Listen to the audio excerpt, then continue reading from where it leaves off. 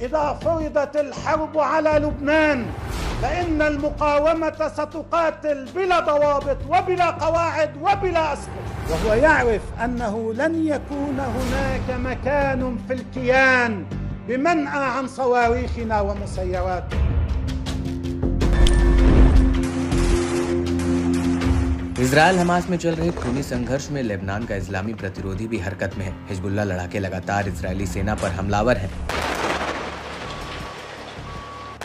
कई मोर्चों पर छिड़ी जंग में फंसी इजरायली सेना को हिजबुल्ला सबसे ज़्यादा नुकसान पहुँचा रहा है। समूह के लड़ाके सबसे ज़्यादा इसराइल को झटके दे रहे हैं। इसराइल के सैन्य साजो सामान के साथ साथ उसके जवानों पर जमकर हमले हो रहे हैं। हिजबुल्ला ने इसराइल से सीधे युद्ध में भी बड़ी धमकी दे डाली है। एक बार फिर हिजबुल्ला चीफ हसन नसरल्ला ने इजरायली पीएम नेतन्याहू को ललकारा है। ईरान समर्थित हिजबुल्ला संगठन अब और ताकत के साथ इसराइल के लिए बड़ी चुनौती बनकर उभरा है।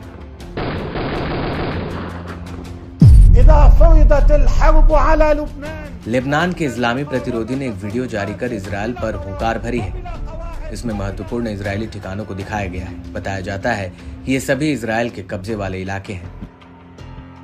दावा है कि हिजबुल्ला ने इजरायली साइटों को दिखाकर धमकाने की कोशिश की है कि लेबनान के खिलाफ युद्ध के हालात में इन साइटों को तबाह कर उजाड़ दिया जाएगा।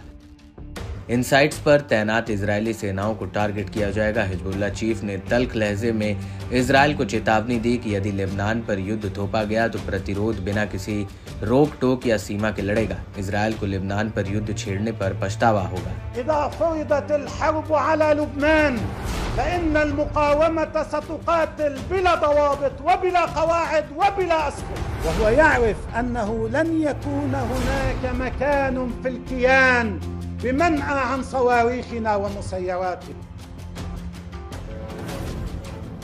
वीडियो में हारकिया कॉम्प्लेक्स जिसमें सुरक्षा मंत्रालय का मुख्यालय जनरल स्टाफ और कई वरिष्ठ सैन्य कर्मचारी नेता शामिल हैं उनको भी दिखाया गया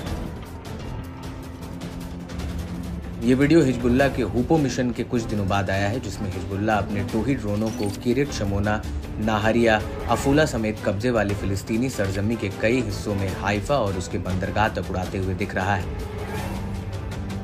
हिजबुल्ला ने दावा किया कि ये महज एक ट्रेलर है। इसराइल को घातक हमलों के लिए तैयार रहना चाहिए।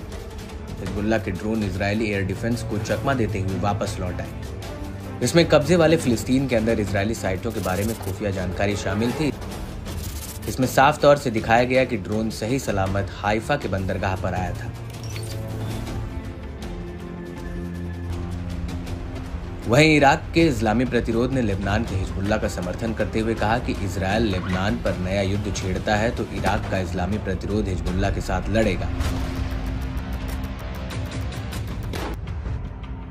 लेबनानी अल अखबर ने इराक में इस्लामी प्रतिरोध के हवाला देते हुए दावा किया कि कताइब हिजबुल्ला, कताइब सैयद अल शुहादा और हरकत हिजबुल्ला अल नुजाबा प्रतिरोध समूहों ने लेबनान के इस्लामी प्रतिरोध के साथ लड़ने के लिए अपनी तैयारियों का ऐलान किया। बताया जा रहा है कि इराकी प्रतिरोध समूह हिजबुल्ला के एक आदेश का इंतज़ार कर रहे हैं।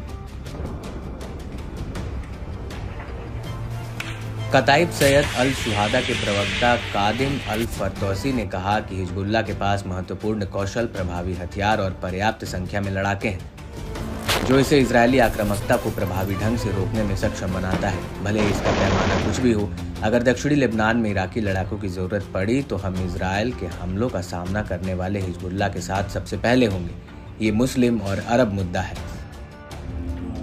हिजबुल्ला चीफ हसन नसरल्ला ने इसराइल और उनकी सेना को सख्त संदेश दिया कि आठ महीने लंबे युद्ध का खतरा हिजबुल्ला को डराता नहीं है। इसराइल और अमेरिका दोनों समझते हैं कि लेबनान के खिलाफ युद्ध का इलाके पर बेहद गंभीर और खतरनाक प्रभाव पड़ेगा। हिजबुल्ला के पास सभी टारगेट्स तक पहुँचने की क्षमता वाला एक बड़ा जखीरा है, जो इसराइल की नींव को हिला सकता है। दुश्मन जानता है कि भूमध्य सागर में जो उसका इंतज़ार कर रहा है, वह भी बहुत महत्वपूर्ण है।